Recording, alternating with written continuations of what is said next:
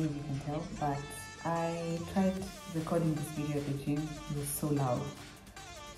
So I just promised myself that I was going to do it once I got home. And since I just got here, before I even take my clothes off, I cannot sit on the couch or on my bed with clothes from, from the gym. So um, I'm just going to sit on the floor and do this. The athletic socks um, I felt it was a very important topic because so many people um, question me in a good way, question me about the fact that I train without shoes. I'm very cautious as an athlete because the small things always add up to the big thing. A lot of movement starts from the foot and also a lot of impact is generated. I always pay a lot of attention to the socks that I wear. I love bright colors and I love looking very nice when I'm going to train because most of the times I'm training alone and I like to feel good when I just look at myself. Apart from the fact that they look really nice, they're very comfortable, the material is good. They offer heel and toe cushioning, which is very important during training. It's the silicone padding. They call it the non-slip silicone padding. Sob impact. Some hospitals also give this to patients. Also have very enhanced breathability. Feet are always dry. That's one thing that I really love, especially when I'm training. They absorb sweat. And one of the other very important things that is that they offer ample ankle support.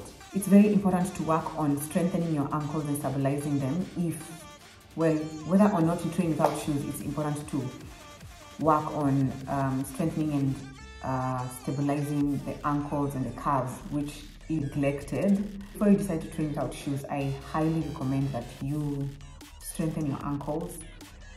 Oh my God, I'm so hungry. You strengthen your ankles and, um, and your calves. So I always tell people to at least have a trainer if you're just starting out.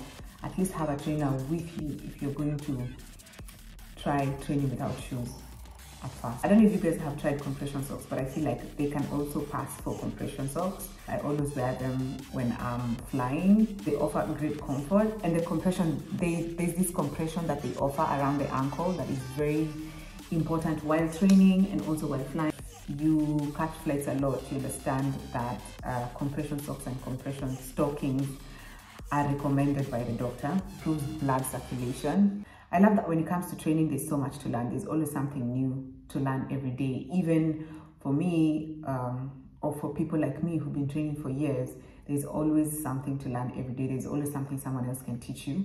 And the most interesting thing that I found out is they actually protect your feet from infections and they keep them order free. So I personally have always been very big on investing in things that better my health and fitness from a very young age.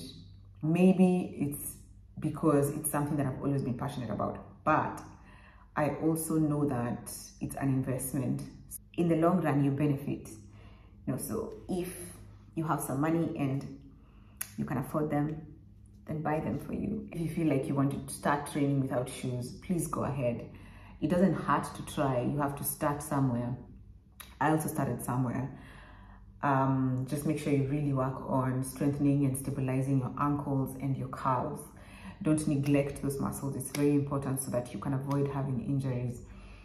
And uh, what else? I'm so hungry. I feel like just want to go eat. Um, I think that's it. If you guys have any questions, just leave them in the comment section and I'll definitely answer them thank you so much for watching this video i appreciate you guys so so much kwaheri bye